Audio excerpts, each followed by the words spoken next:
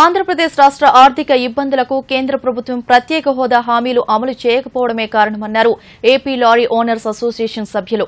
ప్రత్యేక హోదా సాధన కోసం ఈ నెల పదకొండున తలపెట్టిన బంద్కు సంపూర్ణ మద్దతిస్తున్నామన్నారు. ఆ రోజు రాష్ట్ర వ్యాప్తంగా లారీల రవాణాను నిలిపివేసి నిరసన తెలుపుతామన్నారు. విభజనతో తీవ్రంగా నష్టపోయిన ఏపీకి ప్రత్యేక హోదా కల్పించి ఆదుకోవాల్సిందేనని AP lorry owners association demand చేసింది.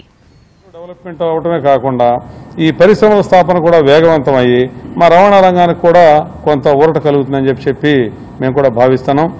ఈ సందర్భంలో మన ఈ నూతన ఆంధ్రప్రదేశ్కి కేంద్ర ప్రభుత్వం గతంలో ఇచ్చిన హామీలన్నింటినీ కూడా అమలు చేయాలని చెప్పి చెప్పి మేము ఆంధ్రప్రదేశ్ లారీ ఓనర్స్ అసోసియేషన్ తరఫున అట్లాగే ట్యాంకర్స్ అసోసియేషన్ తరఫున మేము డిమాండ్ చేస్తున్నాం. దీనికి రేపు పదకొండవ తేదీ జరిగే ఈ బంద్లో మా రాష్ట్రంలో ఉన్న లారీలు అట్లాగే వివిధ ప్రాంతాల్లో ఉన్న ఈ పెట్రోలియం ప్రొడక్ట్స్ తోలే ఈ ట్రక్కులు కూడా ఆగిపోతే ఏ ఏ ప్రాంతాల విషయాలు మా సెక్రటరీ గారు చెప్తారు.